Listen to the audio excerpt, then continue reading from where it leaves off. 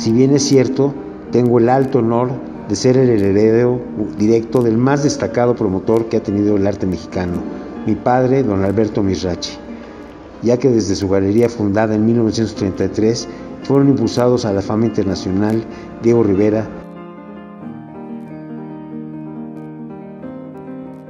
David Alfaro Siqueiros, José Clemente Orozco, Frida Kahlo,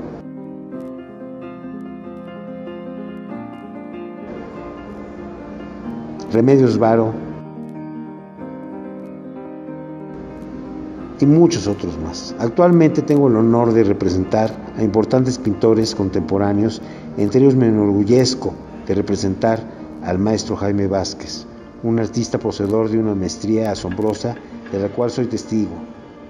De todas las personas que acuden a mi galería, expertos, intelectuales, como simples espectadores, quienes expresan abiertamente su asombro al contemplar sus obras en exhibición.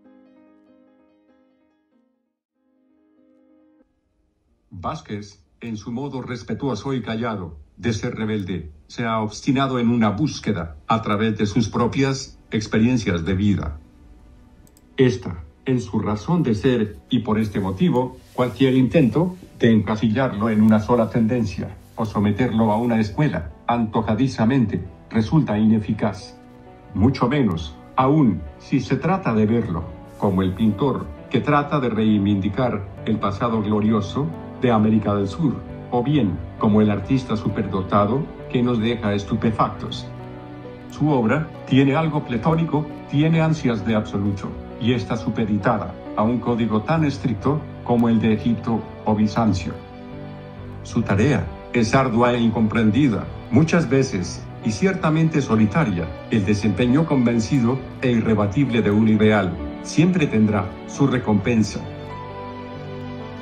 La gloria está destinada para unos cuantos elegidos y en este trayecto, Vázquez en gran parte lo ha alcanzado.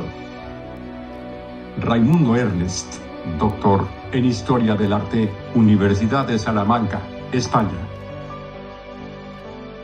Lo clásico es un concepto, no es un estilo, perdido en el tiempo.